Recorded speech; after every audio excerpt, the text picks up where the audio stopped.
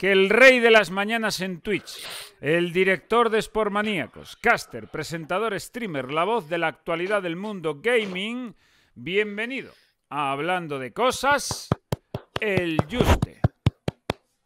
Hola, buenas noches. ¿Qué pasa? Eh, eh, ah, vengo avisando de que estoy un poco eh, acatarrado. No es COVID, ¿eh? Ya me, ya me lo he probado. Estamos bien. ¿Qué tal? Buenas noches. Esto es Yo estaba horroroso. pensando ya en el calorcito que te da el, que, que te- el calorcito que te da el sol. Me sacas el frío y me sacas de mis casillas, macho. Porque se ha multiplicado por dos el precio del gas propano. Me han tenido que venir a llenar el barril. Estoy viendo, estoy viendo como hay un poco fuera el audio de la voz. ¿Estáis viendo bien la conexión, amigos del chat? Si no, son las gafas. Que las gafas, te digo una cosa, no, son, no soy tan subnormal. Es el truco de mirar papeles y, joder, poder estar mirando por otro lado. Te voy a ser completamente sincero, porque si algo, Dime. si algo he decidido yo tener en mi canal desde que lo abrí, Sí, yo soy conocido como el streamer boomer buenorro. em, vale. Streamer porque aquí estoy, buenorro porque bajé peso y estoy estupendo, y boomer Vale. porque a mis 40 años me tienen que hacer las cosas. Porque yo reconozco que siempre he sido inútil tecnológico. Entonces, mi equipo me propone un curso de desboomerización, ¿vale? Correcto. Entonces ellos me están trayendo expertos en Twitch, expertos en. Internet. Entonces el objetivo de esta charla, si me lo permites, es aprender. O sea, en mi caso, Vale. es aprender. ¿Qué duda tienes? Buah. Me han estado explicando esta tarde qué son los eSports. ¿Cómo que te han estado explicando esta tarde que son los eSports? Te lo juro. Desarrolla esa frase que me acabas de decir. Bueno, pues que yo pensaba que los eSports era solo jugar al FIFA. De hecho, ¿Cuánto te- de ironía hay en tus palabras? no, no, eh, tío, nos estamos conociendo, pero te prometo que no. De hecho, eh, José Oribe puede dar fe en el chat. Mi pregunta fue, cuando hablamos de los eSports, yo le dije, pero eso son las ligas del FIFA o cuando Siro y Tilly juegan al Fórmula 1. ¿Y si te digo que en Navidad de 2020 un jugador europeo de deportes electrónicos se vendió a un club norteamericano por 5 millones de, de dólares? De traspaso, como un futbolista. Como un futbolista. Hostias. Es que claro, luego me empezó a decir que son muchísimos juegos, que efectivamente hay equipos, que hay un nivel profesional acojonante. Y fíjate que luego haciendo memoria, claro, me citó a Ibai y me dijo, ¿tú te acuerdas cuando Ibai narraba? Y le digo yo, sí. Y me dice, pues eso era lo que narraba. ¿Y esto de cuándo, es. de cuándo, cuándo comenzó a profesionalizarse y a alcanzar un nivel tan alto? ¿Tiene muchos años esto? A ver, a ver, los deportes electrónicos es que tienen muchísimos años en sí. Lo que pasa es que la profesionalización de los deportes electrónicos viene a raíz de un videojuego que es el que narraba Don Ibai Llanos, que era League of Legends. League of Sí. Legends es un juego de, de una empresa llamada Riot Games, que normalmente en las competiciones de videojuegos antiguamente es tú te vas a un ciber o te vas a un salón de estos del manga y cositas así, y tú haces un, eh, un evento y tú pones el premio y demás. ¿Qué sucedió? Pues eh, una. eh, y, sí que había de, de forma puntual alguna compañía que, que decía: Mira, este juego que me pertenece, vamos a hacer un torneo, ¿vale? pues digamos que la compañía que más fuerte apostó por esto fue Riot Games con League of Legends. Y dijo: Mira, hemos hecho estos torneos, ahora a partir de ahora vamos a hacer una liga semanal donde todas las semanas juegan varios equipos y se les paga a los jugadores. A cada jugador se le va a pagar 3.000 euros. Esto fue hace... eh, hace ocho años aproximadamente, Ujú. ocho, nueve años aproximadamente, y desde entonces eh, todo ha ido creciendo. Antes estaban cosas más, más, más pequeñitas, más anecdóticas con el Counter-Strike, que es un juego de, de disparos, ¿vale? Pero con League of Legends es con el que digamos que eh, ha habido este boom de deportes electrónicos tal, tal y como lo conocemos a día de hoy, donde pues eso, las finales tienen millones de espectadores, lo, hay jugadores que se pueden traspasar por, por de un club a otro por 5 millones de dólares, hay, eh, hay la plaza para entrar en la liga cuesta, en la liga europea cuesta a lo mejor se vendió la plaza por 30 millones de euros, o sea que hay... Sí, sí, eh, y, y se vendió, eh, entre comillas, 70 millones porque eh, era el Salque 04, era el Salque 04, ¿eh? El equipo Ojito, alemán, el club. Eso es, el equipo alemán cuando descendió del- se le fue, se fueron a tomar por saco y, y tenían que vender la plaza. Porque le estaba mucha pasta. Claro. Pero si, imagínate si, en- si no hubieran tenido que venderla, pues habrían tenido todavía más, más tiempo para negociar y para sacar un precio mejor. Pero Les en ese momento era como la tenemos que vender ya, es lo que hay. Y se vendió por 30 millones. Fíjate lo, que, lo que ha pasado. Mira, el- en el chat pregunta Álvaro Guru, eh, dice, ¿de verdad existió el efecto Ibai en los eSports o hubieran explotado en España y Latam sin él igualmente? Yo creo que Ibai ha, eh, es que eh, hay dos cosas, ¿vale? Está Ibai pre eh, creador de contenido, ¿vale? Ujú. Eh, donde solo era comentarista de la Liga de Videojuegos Profesional.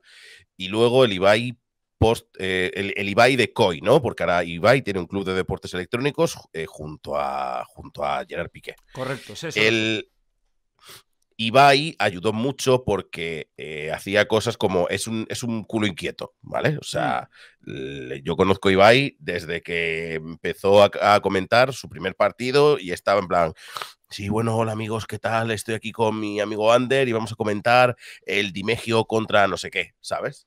Eh, es uno de los, creo que fue el primer partido, fue contra Dimegio y no me acuerdo quién más, ¿vale? Em, y, y a medida que se fue desarrollando, que fue evolucionando, eh, aportaba cosas diferentes. Y sí que es cierto que ayudó mucho al crecimiento de los deportes electrónicos en España porque él mismo se iba labrando una fanbase en torno a la figura que él hacía, porque él no hacía contenido como tal en Twitch como hace hoy en día, pero hacía los vídeos sobre, hacía algunos vídeos rollos sobre, sobre la selectividad eh, y cositas del estilo, y era muy carismático, y cuando había eventos internacionales la gente lo adoraba, etcétera. ¿De acuerdo?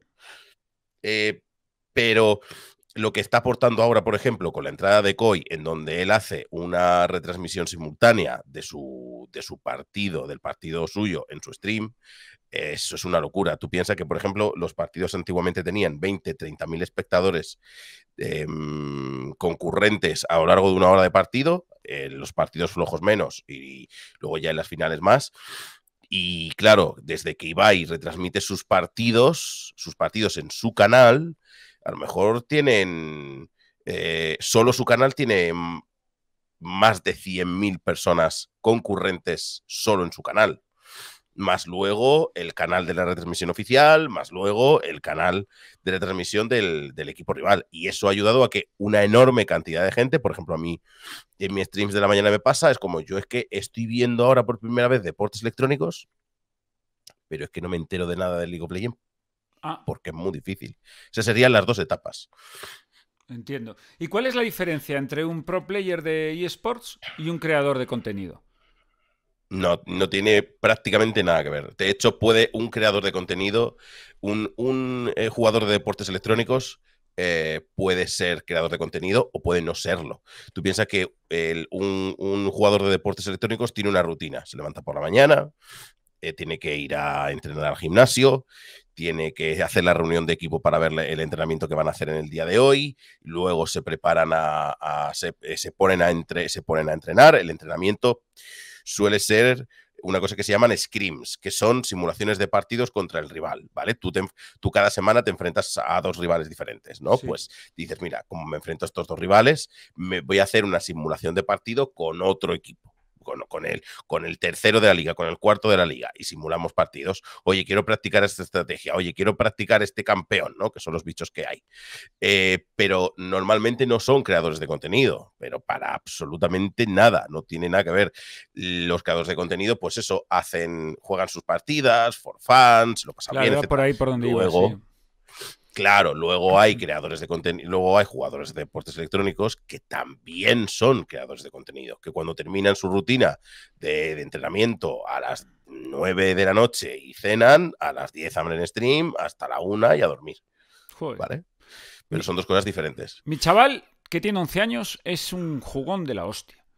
O sea, de hecho, ¿A, a, a todo. Es un Minecraft eh, brutal, brutal.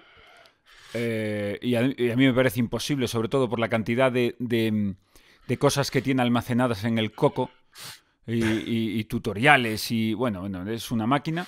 Luego juega a. Es que no me sé los nombres. Ayer le compré uno de coches, que andaba como loco por uno, por- con uno de coches. Tiene la coches. Sí, bueno, así como, como dato. Tiene la habilidad, que es lo, lo- el tema. Lo descubrimos con tres años, cuando jugando al, al- al- que él lo llamaba Mario Carrocho, de oírlo así. Era el Mario Kart 8, pero como el tío decía Mario Carrocho, pues le llamaba Mario Carrocho, como si fuera el apellido. ¿El de la Switch o el de la Wii U? El de la Wii. Vale. El de la Wii. Entonces, eh, lo gracioso del tema era que venían eh, unos amigos que teníamos, eh, mi mujer y yo, con los hijos, que él tenía 3, 4 años y los hijos tenían eh, 8 o 9. Y dejaron de jugar con él porque el cabrón se los fumaba. O sea, tenía ¿En una serio? habilidad. Sí, sí, tenía una habilidad enorme, enorme. Y entonces hubo una, así como anécdota, me- no, no llega anécdota, simpática. Ya con 4 o 5 años me siento yo con él yo manejando al, al- el Mario Kart, el otro al otro Kart, y él me miraba para ir explicándome lo que tenía que hacer, no miraba ni la pantalla y el hijo puta seguía con el coche recto. Entonces yo creo que ahí tengo una vía para, para explotar y estoy pensando ya en sacarlo del colegio. ¿Qué te parece? ¿Qué edad tiene? 11. Eh, como, como persona que ha ido al bachiller, a la universidad y demás, yo te recomiendo que lo, lo saques lo más pronto posible porque no sirve para. Em, pero, pero por si acaso, por si acaso le dejaría un poquito más de tiempo. Por si acaso dejaría un poquito más de tiempo porque por ahora en la Ah. mayoría de competiciones Es como, hasta es, como 16 estar hablando con mi mujer, Juste. hasta los 16 años la- eh, no pueden jugar en la mayoría de competiciones serias donde reciben dinero, Ah. ¿sabes? Vale, vale, vale. Pero entiendo Yo eso. lo haría principalmente por eso. A los 16 ya lo puedes sacar fácil. A los 16 como quien lo pone a servir mesas. Pero hay, entiendo que hay ojeadores de eSports, ¿no? Que van... Eh, vamos a ver. eh, tú piensas que, que hay una. Hay una. A ver, eh, un ranking. Sí. En, en el League of Legends hay un ranking. hay unas cosas, hay una cosa que se llama solo Q, en donde tú juegas. Tú juegas, tú imagínate que tu hijo juega online y juega online con otra gente. ¿Vale? Pues a medida que va ganando, se va emparejando con gente mayor y hay un ranking en donde, digamos que eh, dice, mira, este tiene no sé cuántos puntos. Pues ahí existen lo que tú dices, los, los, los ojeadores que dicen, mira, está este chaval que está en el ranking número 100 del solo queue y resulta que, que es un top laner buenísimo y tiene 16 años. Yo le daba un try, le daba un una intentona, a ver qué tal se desenvuelve, porque, porque puede venirnos muy bien. Sí que hay, sí que, sí que hay un ranking, sí, sí. Qué maravilla, macho. Qué maravilla. Y tú Y hay ahora... gente que se dedica a eso, ¿eh? Hay gente No, no, que se no, dedica a eso, ojo, a yo ahí, esta gente. yo ahí no soy tan viejo. Quiero decir, yo ahí eh, no, no, me atre- no, no me salen a hacer comentarios de mi padre, de parece mentira, estén ganando ahí dinero con los marcianitos. No, todo lo contrario. Es, eh, estamos en, en un punto de, de- de avance tecnológico y de comunicación tan grande que era cuestión de tiempo que todo esto se profesionalizara en realidad. En cuanto nació el juego online empezamos a, poder Sí. jugar con un señor del otro lado del planeta. Sí, o sea, tú piensas que para muchos el, el- el- lo, que, lo que era el fútbol, es decir, de, nos vamos a jugar a, vamos a poner a jugar al fútbol, ahora es el Fortnite, o ahora es el League of Legends, o ahora es el Valorant. Hmm. Lo que pasa es que antes era vamos a jugar al fútbol y ahora no, ahora no, jugar al fútbol no, ahora es que los colegas han comprado la Play, yo también quiero jugar al GTA y yo también quiero a tal, y eso es a lo que juegan a lo que juegan los chavales, es una cuestión de costumbres, de cómo cambian las tradiciones, al igual que mi padre jugaba X y, y tu padre jugaba a X, Hmm. pues tú y yo no nos llevamos tanta edad, yo tengo 33, no te pienses que yo tengo... Joder, pues pareces mi padre. No te pienses que tengo yo una edad totalmente lejana. No, pero mira, hay una cosa de esto que dices que en realidad, fíjate, siempre era lo negativo, ¿no? La cosa esta de. Porque claro, Sí. eh, pues sí, no tenemos mucha diferencia de edad, correcto, pero sí somos de una generación en la que todavía, cuando Sí. em- empezó a aparecer la PlayStation y la Mega Drive y. Bueno, antes Mega Drive y la. Pues eso. Es que se queda en casa, donde tiene que estar es en el parque, es que se aísla. Sí. Claro, ahora eso ya no. Y te pongo un ejemplo práctico, precisamente con mi hijo, que es el, el jugón para casi todo. Como él dice. Yo le, yo le digo jugón para casi todo y él me dice para todo. Que mm, nos hemos mudado, de, nos hemos cambiado de localidad. Y claro, ha dejado a su pandillita, a la pandilla El Moco que tiene, a sus tres amigos Marcos, Hugo y Lucas, eh, son los cuatro, eh, ellos se han quedado en, en nuestra anterior localidad.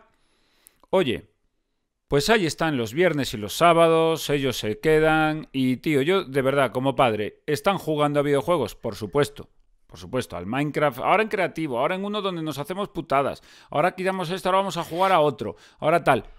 Pero lo oigo hablar con sus amigos, se relaciona, se comunica, se van contando las cosas de la semana, del cole, y de otra forma, esos amigos se hubieran ya perdido para siempre. Ya que Sí. eso evidentemente es muy positivo.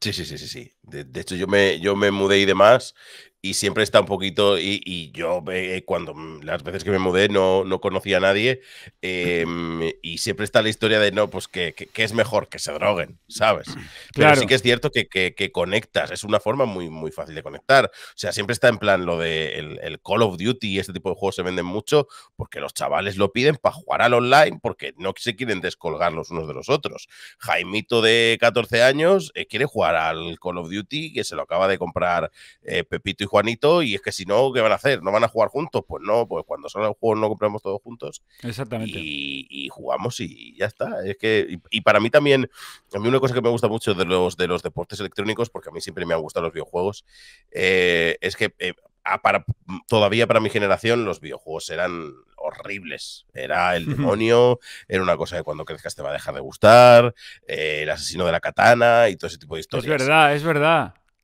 Claro. Pero eh, los deportes electrónicos era como una forma donde eh, eh, creas comunidad en torno al videojuego, aunque sea a un videojuego, pero generas una comunidad, generas una conversación. Y como a mí siempre me gustan los videojuegos, siempre he visto como una forma de conectar con gente que es afín a mí. Y yo creo que eso ya encuentras un montón de gente maravillosa, otra gente no tanto. Pero para mí eso es lo importante, vaya, seguir conectado con, con la gente y que no te dejen atrás. Fíjate, hablando de conectar, es que te voy a lanzar la, la- eh, al hilo de esto que estamos comentando. He sido invitado a rolear en el nuevo London Eye.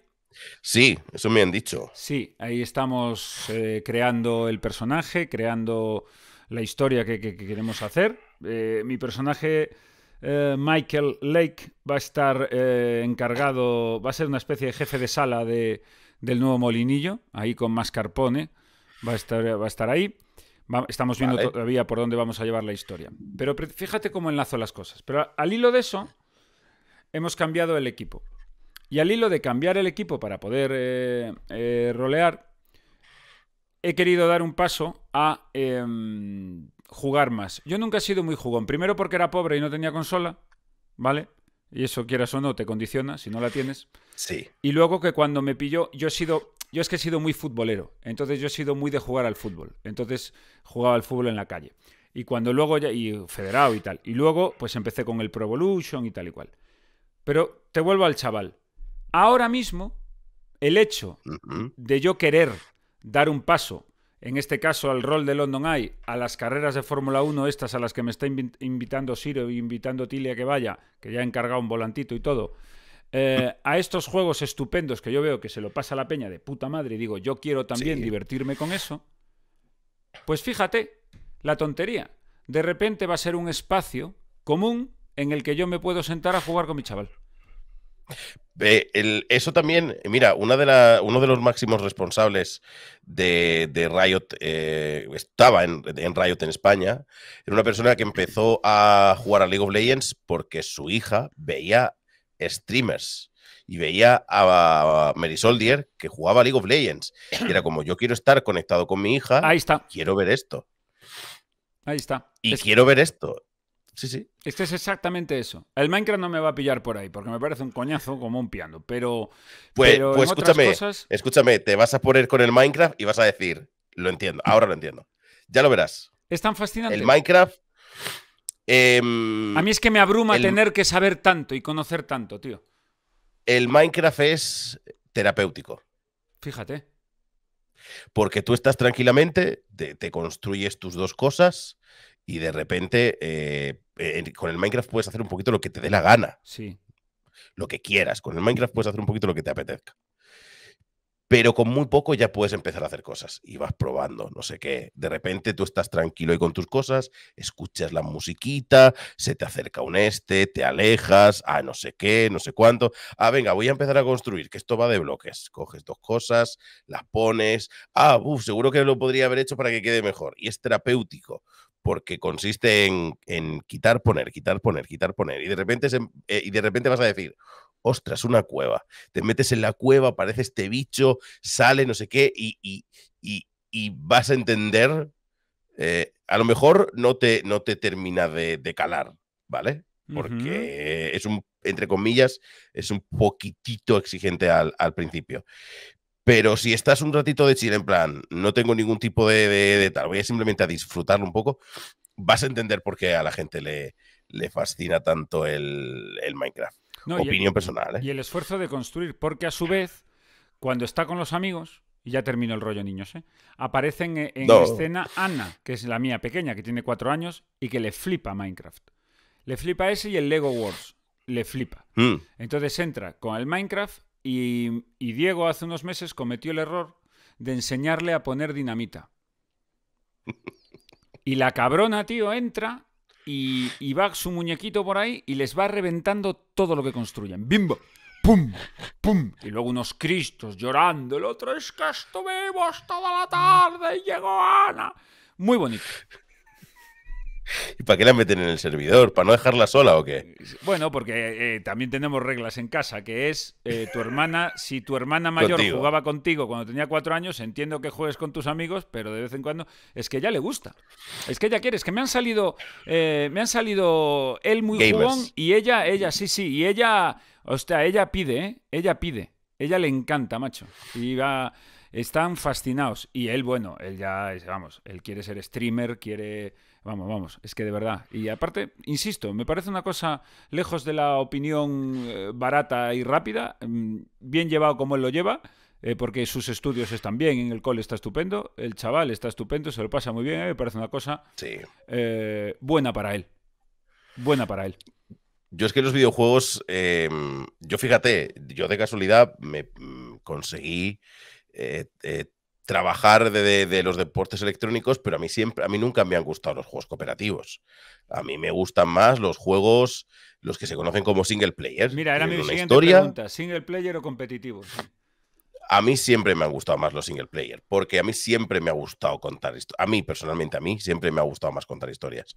Yo estudié em, literatura eh, hispánica en la universidad. Hombre, como yo, no me digas que eres un filólogo.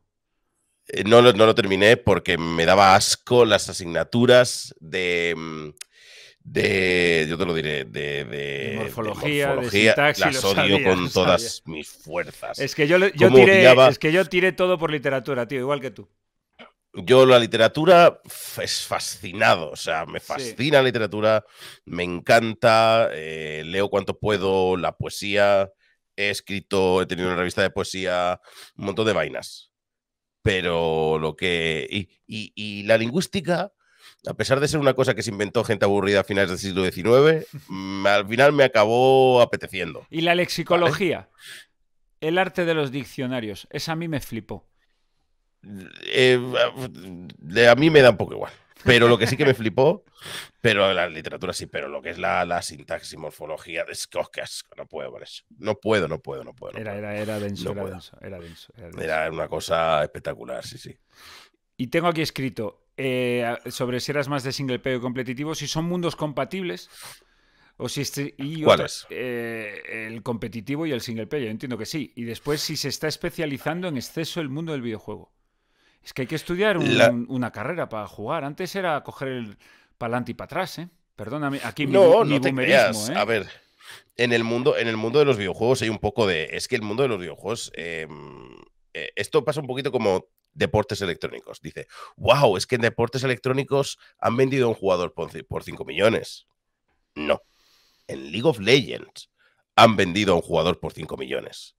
Al igual que cuando tú hablas de deporte y dices, no, no, es que los deportistas viven muy bien. No, no, los futbolistas viven muy bien. Hmm.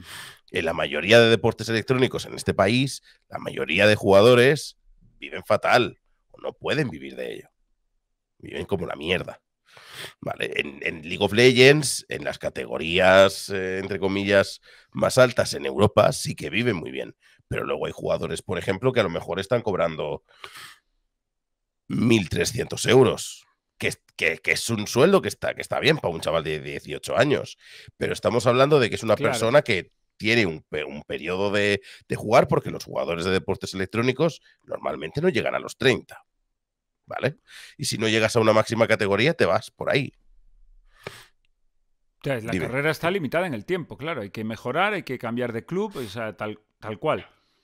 Sí, y pero, pero, y también sobre todo porque es, es- sigue siendo una industria muy joven, en el sentido en el que, digamos que aquellos que, cre- que crearon conocimiento en el año 1, los que vinieron en, el año 2, les superaron muy rápido y crearon su propio conocimiento y cogieron el del año 1. Los del año 3 cogen el del año 1 y el año 2 rápidamente y crean el suyo propio. Entonces, a lo largo de los años, las generaciones han cogido muy rápido a las anteriores. Va a llegar un momento, ya, bueno, más o menos ya está sucediendo, que las generaciones desde hace dos, tres, cuatro años es muy es mucho más difícil que superen rápidamente, ¿no? Pero aún así, a lo mejor aparece, a lo mejor el chaval que era buenísimo hace dos años, a día de hoy han aparecido dos chavales jóvenes y le dan, le hacen please, please y a tu casa. Y ya no eres el mejor, de, de dos años, ¿eh? Fíjate. De dos años. Es muy, es que no, no, no, es muy difícil que existan figuras tales como los, como los Messi, los Ronaldo aquí, porque todavía no se ha establecido Entiendo. cómo funcionan todos los conocimientos, ¿vale? Y en tema, entre comillas, de los videojuegos, eh, hay mucho, ¿eh? Hay muchísimas cosas. Hay juegos extremadamente interactivos donde tú puedes controlarlo absolutamente todo. A todo. Tienes una fábrica y tienes que empezar a construir cosas y demás. Lo tienes en 2D, lo tienes en 3D. Luego tienes juegos em, que se llaman em, Walk Simulator, que es un juego donde tú tienes un escenario y te vas moviendo y a medida que te mueves tienes un par de pistas de hacia dónde tienes que mover, pero prácticamente es una película interactiva. No tienes que hacer tampoco mucho más. Luego tienes eh, juegos más tipo aventura. Los Uncharted son aventuras tipo Indiana Jones, Indiana Jones de toda la vida, que, te los pasas en 10 horas cada, cada juego. Y son juegos muy sencillos de, de plataformas, disparos y poco más. Y luego tienes juegos súper complejos y súper difíciles que el reto de superarlo ya es en sí algo gratificante, como son los Dark Souls. O sea, es que son cosas, son mundos... Es un mundo el de los videojuegos que es en plan, no me gustan los videojuegos. No, no, tú no has encontrado. Claro. En mi opinión, Claro. no has encontrado todavía lo que, lo que te gusta. Totalme- totalmente de acuerdo contigo. Y pasa lo mismo con... A ti no te ha pasado la gente que te dice, a mí no me gusta leer. Eh, Y luego de repente es en plan, léete este libro. Ah, este sí me ha gustado. Entonces, no es que no te guste leer, es que los libros que te han puesto delante no, no, no Sí, te han sí. gustado. A mí es que no me gustan los monólogos, claro, porque fuiste una vez a, una- a la cervecería Pepi y te tocó ahí un chaval que por lo que se fuera, o era muy burro, o era muy malo, o no tenía su noche, hija mía, vete mañana a ver a Goyo Jiménez, a ver a Leo Harlen y tal, y me cuentas si te gustan los monólogos o no. Claro, pues estoy contigo. Oye, por cierto, tienes una voz preciosa, Dime. Juste. Una voz Gracias. preciosa. Y además, el catarro te da un toque blues que, que te, la, te la deja todavía más bonita. Y se te entiende muy bien. eh, entiende la broma. Intentando explicar esta vaina. No, no, a pesar de ser de Murcia. Soy de Cartagena. Hostias, como, como Pérez Reverte. Como Dios. Pérez Reverte. Como Pérez Reverte. Un, un tío mío es, era, es amigo de Pérez Reverte. Y pues cuidado, porque entonces sí te da dos hostias, ¿eh? Pérez Reverte. Bueno. Yo, no, yo, nunca, yo nunca menciono el nombre de Pérez Reverte en vano por miedo En a que me dé dos hostias. Bueno, pero también está mayor ya, Pérez Reverte. Pues tiene, un- tiene una mala leche. Hoy te tengo que dar la enhorabuena porque has superado ni más ni menos que ya los 100.000 seguidores en Twitch. Sí. Es una cifra impresionante. O sea, Bueno. enhorabuena. Bueno, nosotros estamos a punto de llegar a 10.000, que ya me parece la hostia en verso, pero tienes unos, unos números acojonantes. ¿Cuándo empezaste a streamear por tu cuenta, querido Juste? Pues yo empecé a streamear por mi cuenta en junio, finales de mayo, principios de... No, no me acuerdo. Creo que fue en junio de 2021. Junio del año pasado. Joder, y no te acuerdas, cabrón. Hace, no me acuerdo. Ya hace un año. Pues claro, porque estabas muy a tope en, otros, eh, en otros streams, entiendo, y se te mezclan. claro, tú piensas que yo llevo en Maníacos, que Maníacos es. Eh, es, es un proyecto, para aquel que no lo sepa, en donde todos los días, a las 3 de la tarde, le dedicamos dos horas a hablar de League of Legends competitivo. ¿vale? Correcto. Principalmente. O sea, es, es, lo que la gente quiere, es lo que a mí me gusta, es lo que a la gente le gusta. Sí, sí. Hablamos dos horas. El estudio estadio diario de, del LOL. Sí, sí, sí. Y cuando a veces pasa algo con, el, con un Rafael Nadal, lo comentamos. Ha pasado no sé qué aquí en, en los Fighting Games. En otro, eh, orden, de, en otro orden de cosas ha pasado algo con Rafael Nadal. Pero eh, una hora y 55 minutos de League of Legends y cinco de, de tal. En un tono mucho más, muy muy de la juventud, muy for fun, muy divertido, eh, etcétera, ¿vale? Yo llevo en este proyecto siete años, siete años, ¿vale? Y, por vicisitudes del destino, porque yo también eh, tenía, sentía que, quería tener una voz propia y hacer cosas más allá de los, de los de los, de los deportes electrónicos, dije, me voy a abrir yo un canal, de, hecho tenía yo un canal, me voy a abrir yo un canal y como no, yo tenía que estar despierto a las, a las, a las, a las, a las, a la, antes de las 9 de la mañana para preparar una cosa de la parrilla que teníamos nosotros, teníamos una parrilla televisiva en Twitch. Em, había una cosa que empezaba a las 10 de la mañana. Entonces yo decía, mira, pues voy a hacer una hora de stream todos los días de lunes a viernes, de 9 a 10. Yo pensaba que me iban a ver 200, 300 personas máximo. Joder, ya las quería yo para mí. máximo, ¿sabes? Y lo que pasa es que con el paso del tiempo fue evolucionando, no fueron 200, 300 personas, fueron prácticamente desde el principio 500 y yo tengo en mi cabeza mucha teoría sobre cómo funciona Twitch. Ah, pues sobre por, cómo puedo favor, hacer. escucho. sobre cómo puedo hacer que la gente me vea y ese tipo de cosillas. Y dije, venga, voy a utilizar este conocimiento. Y, pasamos, pasé de una hora a dos horas y ahora son dos horas y media. Y ahora mismo estoy teniendo más de 5.000 personas de media. ahora mismo te conocen como la Ana Rosa de Twitch. bueno, pero eso la es el reina de las mañanas. Pero eso es Rubén Martín que está borracho. No ya, lo sé que es Rubén Martín. Pero, pero mira, es espectacular. Y, tu comunidad, em, con esa, esa... Lo digo por la hora, ¿eh? Por, lo temprano que es. ¿Tienes mucha comunidad eh, hispanoamérica? No. 95% mm, de mi... 90 te, lo, te lo miro ahora mismo. Oh, fíjate. No sé decirte que 97% de mi audiencia creo que es de España. Ah, bueno, pues entonces no hay... Estaba yo... No sé por qué me vino a mí... Me vino esa idea. ¿Y cuál es el primer consejo? Eh, o sea, cuando, cuando empezaste a hacer tu matinal, ¿cuál ha sido tu proceso para ir seleccionando ideas, contenidos? Eh, decir, este horario sí, este horario no, voy a ajustar por aquí, voy a ajustar por acá. A ver, yo primero, algo importante es la crear una rutina en el, en el espectador.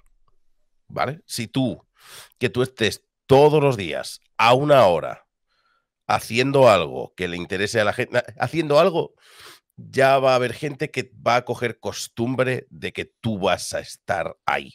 Es pasa eh, parecido como en la televisión. Tú sabes que todos los días, pues yo hace tiempo que no veo televisión, ¿no? Pero sabes que, eh, que todos los días a estas horas vas a tener este programa.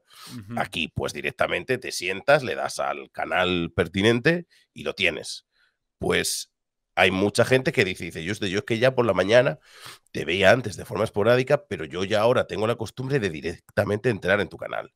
por maníacos es todos los días a las 3 de la tarde, porque yo sabía que ahí había una franja a las 3 de la tarde hace 7 años, todo esto era campo. Claro. Y había un, había un sitio, yo sabía que había un público de gente que le podía interesar escuchar nuestras cosas, rollo sobre mesa, como si fuera un informativo de televisión, pero un informativo de televisión para ellos. Y fue en plan, esta, va a ser una buena hora. Y ahí estamos. Y por la mañana, tres cuartos de lo mismo. una cosa tranquilita y que hable de temas que yo creo que le puede interesar al público de Twitch. Porque lo que pasa muchas veces, em, la gente que viene de fuera de Twitch, la gente de la, de la televisión, es que el público que... Hay gente que a lo mejor, mira, te voy a poner un ejemplo, ¿no? Edurne. Edurne tiene canal de Twitch. Correcto. Y Edurne tiene. Edurne tiene. ¿Cuánta gente tiene Edurne? Lo vi el otro día. Además es que sé por dónde vas. Eh, sí, 100.000 también, una cosa así. Espectacular. O sea, creo que eh, eh, Edurne tiene en Twitter, no sé si son un millón de seguidores. Sí. Un millón de seguidores tiene. Y sin embargo, cuando hace stream tiene 300 viewers. Y es como, ¿cómo es posible? ¿Sabes? ¿Cómo es posible que, que est- esté de disparejo? Pues porque la audiencia, Pues, Twitter, pre- por pues ejemplo, pregúntale traduce. cuánto vende cuando saca un disco.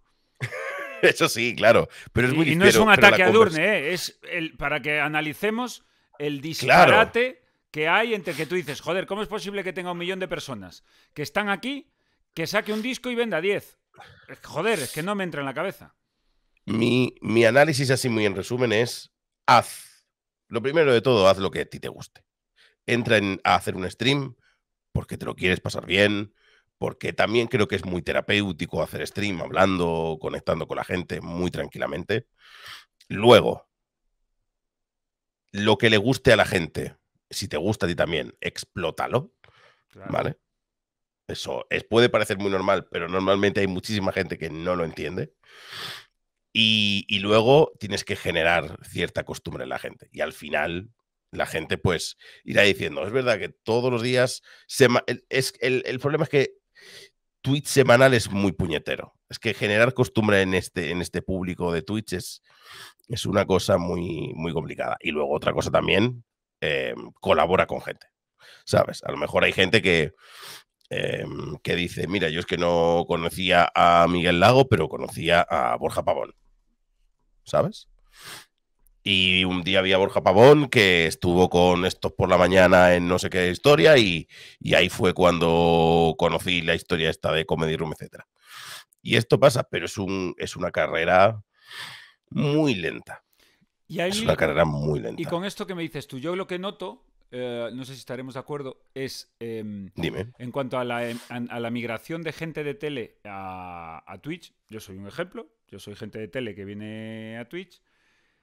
No voy a poner nombres porque es feo, pero yo sí he visto compañeros muy potentes de tele que se han venido a Twitch pensando que esto en dos Que días- como, me la, co- como en la tele me ven un millón de personas, me vengo aquí y me van a venir- ver medio millón. Y a las tres semanas de ver que no, y lo que dices tú, y que aquí hay que echar horas, que hay que crear, carretera. Pero así, ¿eh? Así. Yo también. Yo, es que me dedico también a, analizar esas cosas, las tendencias, porque tú, piensas que es por maníacos. No había nada como, no había prácticamente nada como es por maníacos. Entonces, si, yo quería aprender de alguien era muy complicado. Y cuando entraron toda esta gente de la televisión con sus nuevos formatos o con sus cosas y demás, era como, vamos a ver qué aprendemos. Y la gente se cansa muy rápido y es como, señor, yo empecé, primer programa que tuve yo tu- tuvo 20 personas. 20, y ya es mucho, ¿eh? Tener 20 personas ya es mucho. Pero, es que, la- Pero es que tú no eres fulano. El de la tele, claro. pero Twitter es una mierda para, para convertir, es una mierda. Y, e Instagram es otra mierda, porque además pasa otra cosa, o sea, la mayoría de la gente no conoce Twitch. La gran mayoría de la gente no conoce Twitch. Aunque nosotros estemos con Ibai en plan, madre mía, Ibai es No, maravilloso. mi suegra no sabe quién es Ibai. Ah, y, y hay mucha más gente que conoce a Ibai que gente que conoce Twitch. Y eso que Ibai es- es- está en Es, Twitch. es Twitch, sí. y hay mucha gente, pero es un trabajo muy lento. O sea, eh, creo que, mira, hay tantos usuarios en, en, en- yo te lo diré, hay tantos usuarios en Twitch como jugadores de League of Legends. Los números son, creo que hay como ocho veces menos usuarios en Twitch que en YouTube. Para que veas la diferencia, es que hay mucha diferencia. Entonces, eh, eh, es una cosa también de cuando tu público, eh, Miguel, dentro de 3, 4, 5, 6, 7, 8, 9 años, en ese momento habrá más gente que diga, oye, mira, eh, está este de que lo veamos en la tele, ahora lo pongo aquí. Yo, yo sé que en el futuro la gente va a tener, por un lado, el mando de la tele y por otro, el móvil para poner, ah, mira, está Miguel, pues no vemos la tele, vemos a, a tal. Y será mucho más común ver en la tele a Miguel Lago con sus cosas. Yo es el camino por el que apuesto y en el que creo. Y de hecho te lanzo otra. Yo he tenido Dime. grandes discusiones en altas esferas televisivas, en, en el Sí. canal en el que yo estaba anteriormente, Mediaset, y lo hemos discutido y lo hemos hablado y lo he propuesto, porque a mí me dieron un programa que duró, tuvimos 34 ediciones, Los Teloneros, con Antonio Castelo. Y El de la mañana, ¿no? El de la mañana, sí. Y en ese programa eh, trabajaba el que ahora el que es mi productor, que allí se fue conmigo también, eh, José Oribe. Y lo intentamos de todas las maneras. Intentamos que este contenido, que Twitch, que los streamers, que esas grandes figuras, como es tu caso, como es, eh, pues mira, Borja Pavón, que antes los citábamos, porque claro, la venta de voy a traer a Ibai, esa es muy fácil, ¿eh? esa no te preocupes, que esa venta eh, eh, la hace mi abuela, esa no es problema. Pero la venta de el contenido de Twitch, lo que está pasando, los streamers, ojo, no, con, no para que vengas, no traerte a ti para que te sientes, no, o sea, no caer en lo de la tele de me, gusta mucho lo que haces, Juste, venga aquí a hacer otra cosa, sino que darle, a- queríamos darle a ese programa una sección, una ventana a lo que está pasando en Twitch y en el stream. Bueno, todavía oigo las carcajadas. O sea, pero no- ¿Por qué? Es que vamos, es que absolutamente no. Primero, no, no solo pasó en teloneros, eso pasó en teloneros y pasó en otros momentos eh, con otras dirigentes, otras personas. Primero, no saben de lo que les estoy hablando. Eso es para la primera. Que eso ya eh, dificulta la comunicación. Y luego lo segundo, por mucha pasión con la que yo lo venda, les importa tres cojones. Les importa tres cojones. Con lo cual, amigo, aunque supieran lo que era, si te importa tres cojones, y sobre todo si es. A mí. que no me quiero pasar de listo, pero es que me parece de una. de una ceguera intolerable. Porque al final. Al final, claro que la televisión va a seguir y siempre se va. y siempre se va a convivir. Por supuesto. Pero hostias.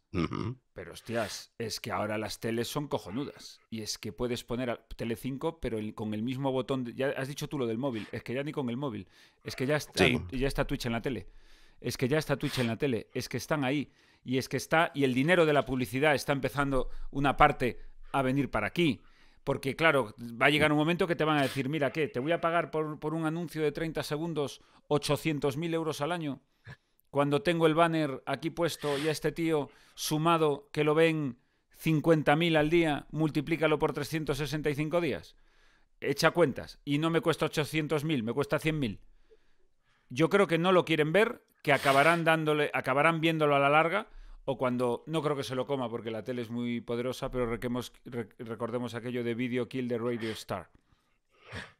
Yo estoy em, convencido de que en el futuro eh, todos los canales de televisión tendrán sus eh, su twitch.tv barra antena 3. Joder, tío, llevo, estuve peleando el Twitch barra Telecinco. Diciendo, estoy aquí, estoy aquí. Mira, yo llegué a proponer, fíjate qué locura, ¿eh? Yo llegué a proponer, porque por ejemplo, Telecinco no apuesta por el late night, alarga programas hasta las 2 de la mañana. Yo llegué a proponer abrir stream en mi casa, con mis colegas, mis contenidos, mis cosas, a las 2 de la mañana. De 2 a 4, de 2 a 5. En plan, mira, si es la carta de ajuste, Sí, si son dos bolsas de pipas, si lo que estáis poniendo hace 50.000, 70.000 espectadores, si yo simultáneamente estoy emitiendo en Twitch y lo estoy poniendo aquí, en la tele puedo tener esos 50.000, vamos a ver aquí cómo sube y no molesta. Insisto, No molesta. eh, caballero, salga sin hacer una escena. ¿Sabes? sí, sí, sí, sí. Pero, pero yo es que he estado en, en el otro papel. Yo es que yo he tenido que trabajar con gente de la que venía de la tele y que les prometieron que esto era maravilloso. Gente que era como, yo es que estaba haciendo la Champion y de repente tengo que hacer una cosa aquí.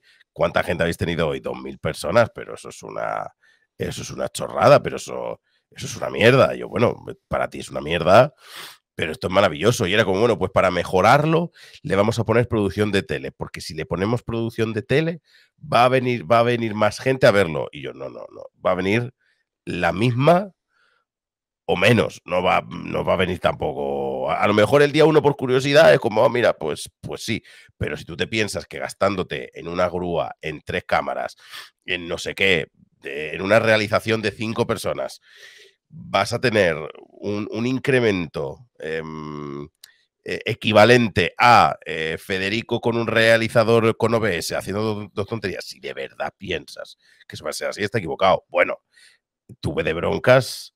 En plan, nada, es que, es que así no se puede trabajar, es que no sé qué, es que nos tenemos que entender, porque si yo es que estoy en la tele, yo sé perfectamente lo que tengo que hacer para que me vea tanto. Eh, bueno, tres años después, de trabajar con esa persona, que luego con el paso del tiempo nos entendimos, me dice, me dice, Juste, me, me llama una vez y me dice, Juste, me han venido los de, yo que estaba en la tele, me han venido a mí los de la tele a decirme qué es lo que tengo que hacer. Y me han dicho una chorrada espectacular. Y dice, en ese momento he pensado en ti y he dicho, ahora le entiendo. Claro. Ahora le entiendo. Ahora entiendo perfectamente. Me dice, Juste, yo soy tú ahora. Porque a mí me viene de la tele y me dice, no, no, yo es que vengo de la tele y soy el listo. Y esto de Internet lo vas a hacer como, como yo te diga. Pero es muy difícil. Es que es extremadamente difícil convencer a esa gente de, de, de, no, no de no, no nada, ¿no? Si simplemente, o sea, hay una cosa que está haciendo muy bien. Eh, la gente podrá criticar al chiringuito todo lo que quiera, pero está haciendo un ejercicio. Muy buen ejemplo. Pero está haciendo, está haciendo un ejercicio transmedia espectacular. Es que, lo cité, es que lo cité como ejemplo en la reunión. Es que está, está haciendo un ejercicio de transmedia, de, darle horas a un montón de gente. A becarios, a los famosos becarios. Eh, sí, sí, los ponen ahí los cuatro a hablar de Mbappé hora y media. Y de puta madre. Con lo importante que es, con lo importante que es coger experiencia y todo ese tipo de cosas, tío. Pero no, pero a la, tele es, es, es muy difícil. Dentro, yo creo que con el paso del tiempo porque tú por qué, tú por qué entraste a Twitch? Por la pandemia. No, no, no, no, no, no, que va. Eh, eh, en mi caso, mira, te voy a decir la verdad absoluta, porque yo aspiro a la independencia. Yo soy productor de mis espectáculos teatrales desde siempre. Eh, entonces yo no, yo no puedo estar pendiente, yo no puedo estar pendiente de que suene esto. Entonces yo aspiro a la independencia. Con lo cual he formado mi equipo con el que voy trabajando y me parece Twitch un lugar maravilloso para comunicar. Y por eso estoy aquí, para comunicar, para hacer humor, para pasármelo bien. Y como además yo soy hombre de teatro y cuando hago tele, eh, pues este, esa tele, me gusta la tele y voy, hago tele y tal, pero precisamente porque creo, al igual que tú, en ese futuro, dentro de unos años. Creo firmemente que, que esto va a ser eh, mi futuro junto con el teatro. Y que la televisión va a ser un entrar, salir, entrar, salir. Pero aquí puedo estar todos los días. Y luego, lo que pasa es que el sentimiento de el sentimiento de pertenencia a la comunidad. Estoy contigo en lo que has dicho de que me parece realmente terapéutico, a mí me hace bien, o sea, me da mucha felicidad. Además es que me gusta. Puedes decir un poco. Puedes decir un poco lo que te dé la. O sea, es una especie de, A ver, es que la gente habla de Twitch como si fuera una cosa. Que el Twitch es. Eh, tú imagínate que tienes una sala infinita de sitio, de salas para, eh, una habitación de habitaciones infinitas donde cualquier persona se puede sentar a hacer radio con una webcam. La radio ahora se hace con cámaras hay una cámara, una Logitech 920, que puedes ver a Pepa Bueno cómo le enfoca la cámara y no pasa nada. No, nadie se, se, asusta porque eso pase así, ¿sabes? No, no, la radio tiene que ser prácticamente solo un poquito un volumen, eh, el volumen de la voz. Buenas tardes, bienvenidos aquí a este programa matinal. No, hombre, no, no, no pasa nada por... Si el que lo quiera ver porque le, le, da más cosas, pues ahí está. Pero Twitch es un sitio donde cualquiera puede hacerlo y yo estoy seguro de que en el futuro habrá gente en el que simplemente lo haga, aunque tenga 10 personas prácticamente todos los días, porque llega de su casa al trabajo y le resulta súper terapéutico sentarse y decir, Buah, es que no sé qué lo que he hecho mal, no sé qué. Y Juanito27 le contestará y no pasa nada. Me encanta. Me encanta. Se puede hacer los chistes. no pasa nada. Puedo Es que es fantástico. Es que es fantástico. Ahora, luego está otra cosa que ahora le voy a dar la vuelta. Luego, en cambio, también aparece cierto contenido eh, televisivo. Eh, por ejemplo, Disaster Chefs. Eh, sí, que es más bueno, televisivo. pero, es más televisivo. Es más televisivo, digo. Correcto. Pero eso se puede hacer en la tele. Exactamente igual. Muy buena reflexión. No. Tú puedes hacer, tú puedes hacer cuatro horas de Disaster Chef en la tele. Puedes ocupar cuatro horas enteras. No.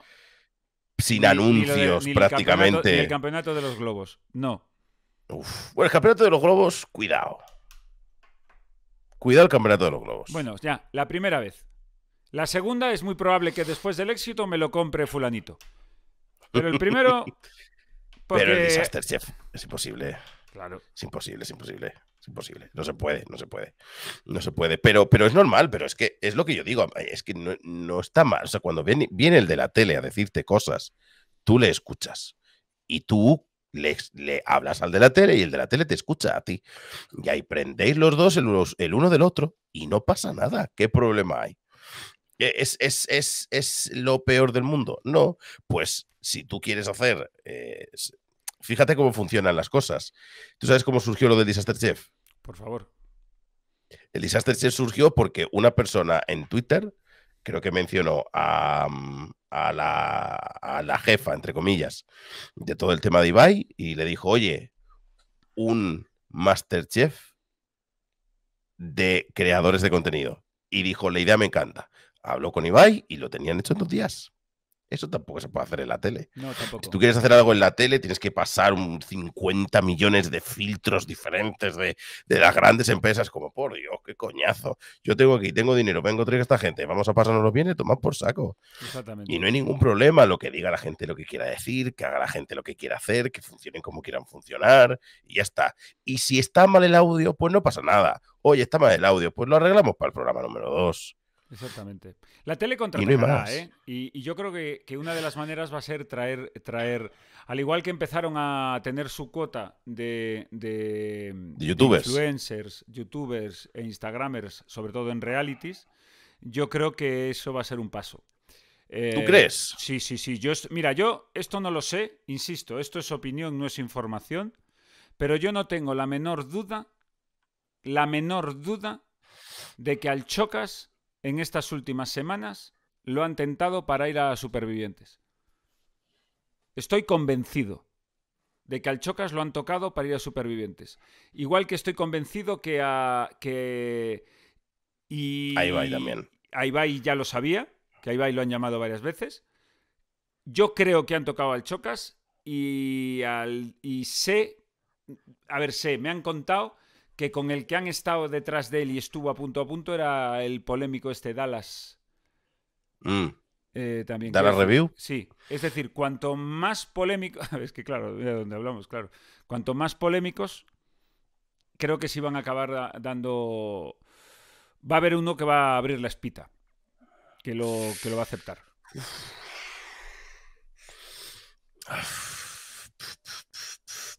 Lo veremos. Pero. Lo que pasa es que no va a ser para hacer contenido, no va a ser para. No, va a ser para otra cosa. Pero va a funcionar también. O sea, si no es Ibai. No lo sé. Pero es que yo creo que. Porque al igual. Porque es que, es que ya venimos de. Es que venimos ya de una experiencia en donde durante años la televisión ha intentado coger a un montón de youtubers para hacer programas y todos se han comido una mierda. Sí, pero la televisión es cíclica y no inventa. Entonces, tarde o temprano, alguien volverá a ah. decir, ¿y si con fulano logramos traer a ese público? Ya. ¿Y si logramos traer a ese público? Por eso, le, por eso cada, cada 15 días le suben la oferta a Broncano. ¿Y si cada... es así? ¿Por qué? ¿Les interesa a una televisión generalista el David Broncano, presentador, artista, no sé qué? Eh, no, les da absolutamente igual. Les interesa el fenómeno Broncano y el público al que va David que es lo que mm. van a buscar. Y entonces cuando se está generando un público tan tremendo y un seguimiento tan tremendo a Auronplay, al Rubius, bueno, es cuestión, bueno, probablemente es que ya lo han rechazado, ¿eh? Pero vamos, que no me cabe Es que esta gente tiene no funciona, es, imposible que no. Para empezar, esta gente se siente muy maltratada por, por la televisión y los, y los medios tradicionales, ¿eh? se sienten muy maltratados, muchísimo. Entonces, eh, que ahora venga la televisión y le diga, soy tu amigo, te voy a dar dinero, van a decir, eh, mira, Mira, es que yo ya tengo uno, yo es que ya tengo 1.2 aquí al año. Tú es que imagínate, es que eres Auronplay, que tiene 30.000 suscriptores sin hacer prácticamente nada, que supongo que cada patrocinio, que cada acción comercial que hace serán Claro. 20.000 euros, que, mm, y que se estará embolsando una enorme cantidad de pasta. ¿Tú te crees que a Auronplay le vas a decir, vente a gata? A Auronplay le suda la polla. Totalmente. Auronplay ya tiene dinero para vivir de lo que quiera. A Rubius, ¿tú te crees que le importa? A Rubius, si le propones algo interesante, pues a lo mejor te dice, venga, adelante, vamos a hacer esto, que puede estar chulo. Que además puede haber el riesgo de Pero- perder tu comunidad, ¿eh? De... O sea, no es una decisión fácil, ¿eh? De perder tu comunidad por hacer algo en la tele, depende de lo que Depende hagas. de lo que ¿no? hagas, por supuesto, pero es un riesgo. No es fácil. Mm, pero, pero eh, es que ya, ya, se- ya están muy escarmentados. Tiene que ser alguien que, que esté un poco hasta los cojones e incluso se esté planteando dejar de un lado el tema del streaming. Hmm. Cuando alguien de repente se esté planteando dejar el tema de hacer streaming y demás, que puede pasar, yo creo que en ese momento sí que sí que diría, venga, va, va, vamos a probar a hacer esto que es la, la televisión. Hmm. Pero si no, yo creo que en principio va a costar. Creo, ¿eh? ¿Qué te ha parecido este salseo donde nuevamente ha salido nuestra eterna pelea con los franceses? Este El mapa, el mapita. semana, sí. Ha estado simpático. Em, a mí es que me parece súper divertido el tema de, de nuevo, unir comunidades y tal. A mí me parece divertidísimo. Estado muy divertido. y todo lo que sea joder a los franceses me gusta todavía bastante más. ¿Verdad? ¿Sabes? Ver sí. O sea, es que como persona que ha vivido en París, odio bastante a los parisinos principalmente. Es que los Vale. parisinos Sé- son gilipollas. Son bastante gilipollas, Sí. ¿sabes? Son, son bastante, Son, son, más gilipollas profundamente que los madrileños, ¿eh? son bastante más gilipollas que los madrileños. Bastante. O sea, yo, toda, toda persona que conocí en, en Francia que no era parisino, eh, lo que te decían era, los parisinos son lo peor. Todos, ¿eh? O sea, era espectacular. Es una cosa, madre. Mira, yo estoy casado con una francesa, te lo adelanto para, para no herir sensibilidades, pero ella ¿Cómo lo habéis, cómo- cómo lo habéis vivido? Con mucha gracia, porque ella, bueno, ella se vino para aquí con, con- con 18 años, ella es de Lyon. Y, y me hace mucha gracia esto que me dices, porque nosotros eh, hasta la pandemia, los siete años anteriores, pasamos las navidades en París. Nos íbamos de días con los niños, pasamos las navidades en París. Y, y ella misma, eh, cuando en cualquier momento del día, todos los días, siempre había tres o cuatro veces al día en el que ella decía, Putos parisinos. es que no puedo con los parisinos. es que no puedo con los parisinos. Te lo juro. Era, Es- era una cosa así. Así, es verdad. Oye, Está guay. está guay. París está bien, ¿eh? París está bien, es muy bonita. eh, eh, yo cuando est- estaba viviendo allí estaba la época de, de había como arena en el Sena y te ponías ahí a hacer el concepto del picnic Es de que no lo había hecho yo en mi vida. Está súper bien. Es que tú le quitas los parisinos y es una ciudad, tío. Está bien, está bastante bien. Está, está, bastante bien, sí. Sí, sí. Mira, eh, volviendo a Twitch, ya para ir, para ir terminando. Eh, la que se viene en mayo, que me la ha estado explicando aquí en directo hace 15 días Borja Pavón, con, con muchísima, pero con honesta ¿Qué se viene en preocupación. mayo? La caída de compensación de Twitch eh, por la bajada de las subs. Que hablan de que Mm. puede llevarse por delante a la, a la clase media. O sea, a, a los, a los streamers que están con la lengua afuera. Eh, Sí. En mi caso, porque yo todavía voy echándole yo los billetes. Porque bueno, esta es otra ventaja, que es que yo como tengo los huevos en distintas cestas, también puedo permitirme eh, disfrutar eh, de esto, pues porque yo tengo mi teatro y mi- mis otras actividades. Y me quita presión y estoy feliz y encantado. Pero claro, em, se, según me lo explicaban, es que se va a la Pero- mierda más de la mitad, ¿eh? ¿Cuándo, cuándo, cuándo te contaron esto? ¿Esto Hace sería? poco. ¿Hace tres semanas, José? Estoy preguntando aquí al productor. A ver, em, lo que. No, no, no, no sé cuánto sabes, pero yo lo, lo explico un poco. Hombre, tú, ¿vale? tú tú más que yo, sin ninguna duda. O sea que, por favor. Lo que pasaba ¿vale? Es que antes la, dos semanas, me confirman aquí, hace dos semanas. Nos explicaba. Vale, cada Twitch, cada Twitch Prime equivalía, redondeando mucho, cuando una persona te da su Twitch Prime, es como si, entre comillas, te estuviera dando dos euros y medio. ¿De acuerdo? Eh, porque un Twitch Prime equivalía a una suscripción de pago, que antiguamente eran 5 euros. ¿Vale? ¿Qué pasa? Que la suscripción de pago la pasaron a 4 euros. ¿Vale?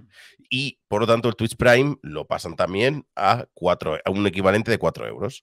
¿Qué pasa? Que el, normalmente entre el 70% de las suscripciones son Prime. El 70% de las suscripciones son Prime. Eh, eh, y es muy difícil que se compense. No va a haber el equivalente de lo que pierdes en nuevos suscriptores. No lo va a haber. Es muy complicado que eso suceda.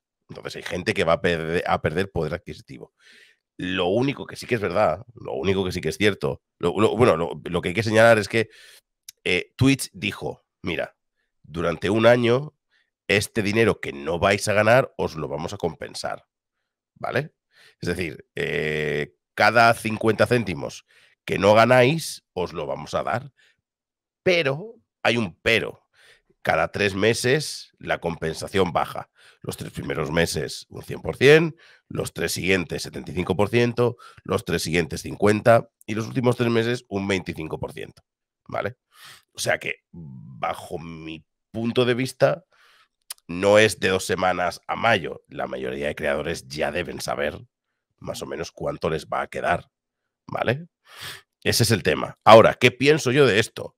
Yo pienso que está mal, que Twitch eh, se ha aprovechado y, ah, o sea, primero nos ha puesto el bite, nos ha puesto el cebo para caer y que nos lo comamos y demás.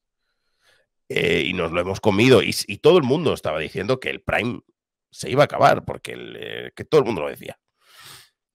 Sin embargo, eh, yo también considero que em, hay muchas cosas que pueden hacer los creadores de contenido por intentar generar más ingresos. ¿Que supone más trabajo del que hacían hasta ahora? Estoy de acuerdo. ¿Que está fatal? Estoy de acuerdo. Que hay formas de generar... La gran mayoría de creadores de contenido no tienen un link de afiliados de Amazon, por ejemplo. Que es una tontería. Tú te vas a Amazon, le das a crear enlace, creas un enlace y lo, y lo pones por ahí y ya está. Y a lo mejor te sacas 20 euros al mes. O 20 o 30 euros al mes. Y hay muchas páginas donde también puedes generar eso. Pero normalmente hay muchos creadores de contenido que no se quieren meter en, ese tipo de, historias. Otra cosa que haría yo si fuera creador de contenido pequeño es voy a analizar la cantidad de horas que me sale rentable hacer stream. Porque hay veces que a lo mejor en lugar de hacer seis horas o siete horas de stream, haces una hora menos y puedes aprovechar ese tiempo para buscar formas de hacerlo a, lo, mejor por hacer una hora menos de. Globo. ¿No? espero que no, espero que sea para otras cosas. Ah. Pero hay, hay, muy poca gente que tiene su canal de YouTube. Hay una cosa que la gente, muchos no saben y es que a las marcas les flipa Instagram. Hay muchas marcas que Twitch lo ven con un recelo que flipas. Pero Instagram, cuidado, y que tampoco lo trabajan. O sea, creo que por un lado, ese tema concreto y, lo que, y, la, y artimaña de Twitch está mal, pero por otra parte pienso que muchos creadores de contenido se han acomodado a la gran cantidad, cantidad de dinero que te da Twitch y no han ido más allá. Y yo creo que eso también es un error. Los huevos en distintas cestas. Sí. ¿Y pensar en otro tipo de eventos por parte de Twitch o que el Twitter de Twitch eh, no saque siempre a los mismos? Es que no, es que no, creo que no sigo a la cuenta de, de, Twitch en Twitter. pues esta es una reclamación que también hacían aquí, decían, no, es que cuando hay un evento, cuando hay un no sé qué, sota, caballo, rey. Y así es muy difícil. ¿Sabes qué pasa? Yo entiendo que dice, yo entiendo que dicen eso, pero es lo que te he dicho. La conversión de Twitter a Twitch es una putísima mierda. Ya. O sea, ¿de verdad crees que vas a solucionar? ¿Sabes cómo sueles, ¿sabes cómo sueles ayudar a crecer a creadores de contenido? Los eventos. Los eventos ayudan a muchos creadores de contenido a, crecer con sus peros, porque si tú has crecido con... Hay casos muy, muy poco probables, como Carola. Carola es una persona que antes tenía, entre comillas, 500 personas, se metió en lo de Marbella Vice, estuvo haciendo lo de rol y ya tiene unos números que son de infarto. Pero luego, por ejemplo, tienes a... ¿Cómo se llama? No me acuerdo. A otro creador de contenido que tenía también 3.000, 4.000 personas.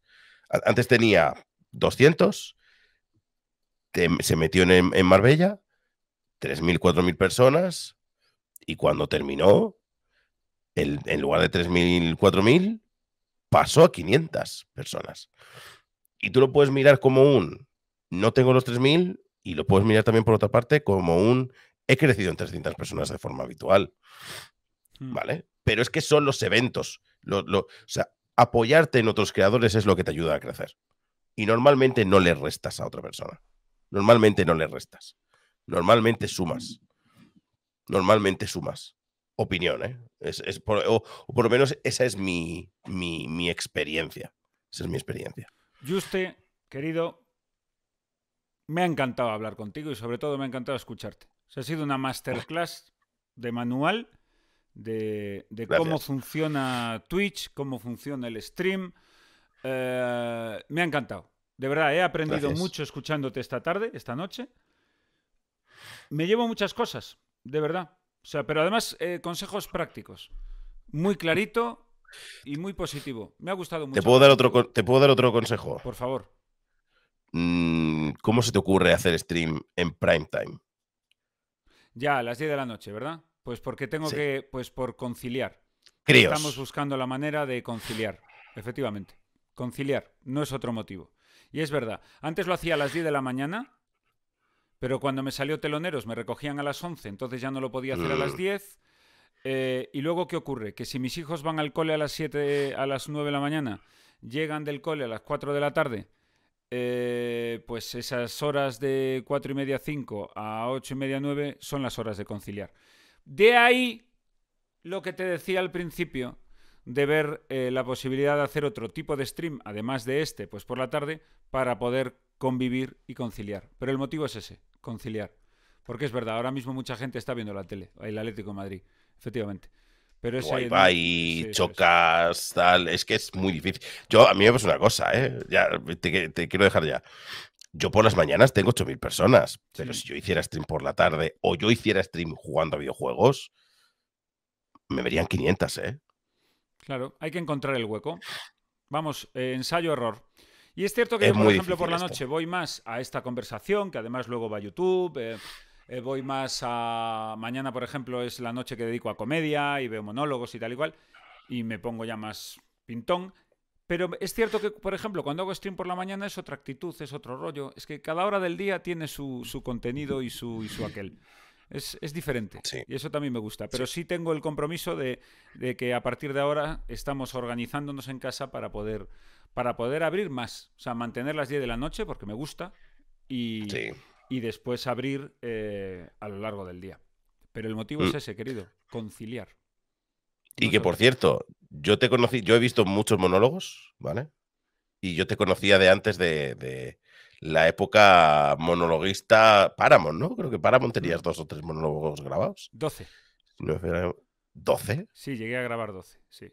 Pues yo he visto dos o tres nada más. Sí, tú has visto los del hijo puta, que son los que trascendieron. Esos, esos, esos. Esos.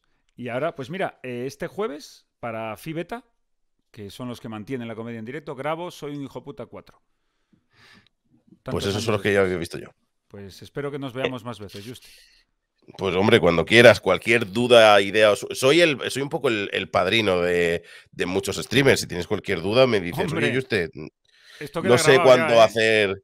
No, no, me pasa mucho, a mí no me importa. Eh, que además creo que está bien ayudar. Y mucha, oye, usted tengo una duda con esto, ¿cómo lo puedo hacer? O cómo no sé qué. Y, para lo que sea, pues aquí estamos. Pues ya está. sé que el camino es muy duro, el camino es muy duro y siempre tener a alguien que te eche una mano creo que es, es bonito. Opinión personal, creo que es bonito. Joder, Justo, no tienes una opinión mala, macho. Da gusto hablar contigo. De verdad, pues por, pues por supuesto que tomo nota y por supuesto que iremos hablando porque si algo me ha ido regalando, me ha ido regalando Twitter, ah, perdón, Twitter, Twitter me ha quitado, no me ha dado, pero si algo me ha ido, me ha ido dando Twitch, ha sido precisamente esto que tú decías, que me gustaba mucho cuando lo decías porque eh, he ido creciendo de la mano de compañeros de la mano de compañeros, de la mano de Borja Pavón, eh, de la mano de Magicius, eh, de la mano de Lanya, de la mano de compañeros. Y además ahora ya me atrevo a decir que son amigos míos. O sea que el ambiente y el compañerismo y la felicidad que hay aquí es la hostia. Muchas gracias. Juste, ha sido un placerazo tenerte aquí esta noche. Igualmente. Hasta luego.